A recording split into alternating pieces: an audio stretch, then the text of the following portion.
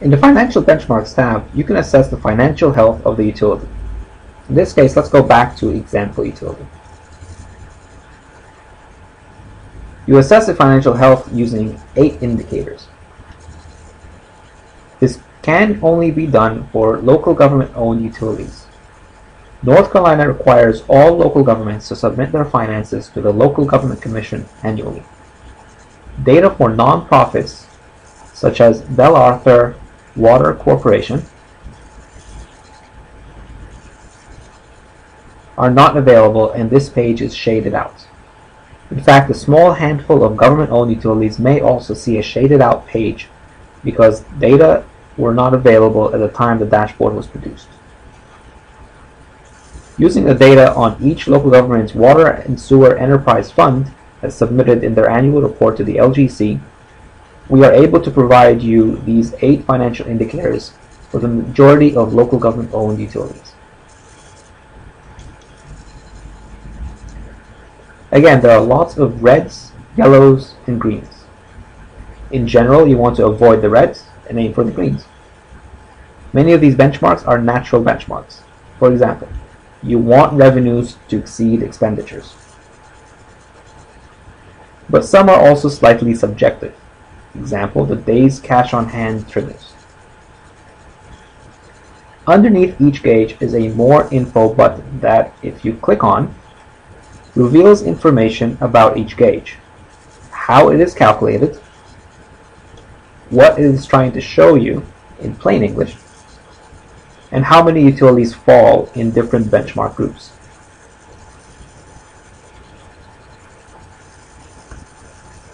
The eight gauges are grouped into five categories. Ability to cover operations and debt service, measures of liquidity, cost recovery, net transfers, and condition of physical assets. This video will be too long if I try to explain each gauge in detail. The explanation of each gauge is shown in these pop-ups that appear when you click on More Info. Please read the text. It's what I would read out to you right now anyway. In this video, I'll go over some notes that are not explained in the More Info pop-ups.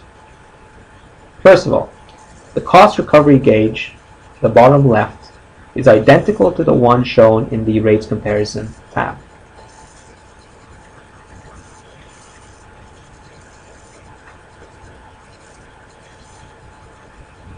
This was already described in a previous video. Recall that this gauge includes depreciation in the operating expenses.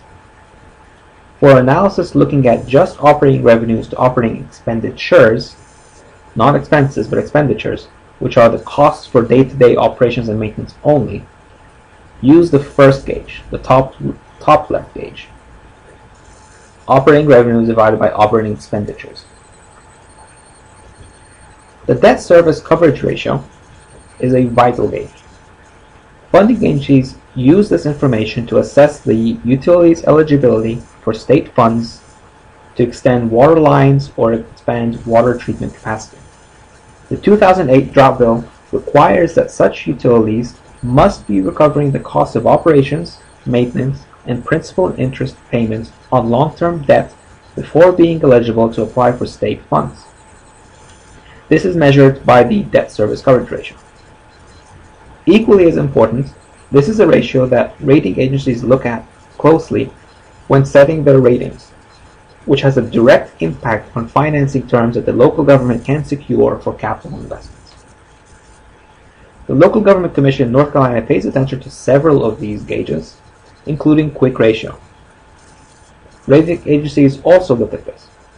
Generally speaking, you want your utility to have sufficient liquidity to be prepared in case of any unexpected out-of-pocket payments that need to be made.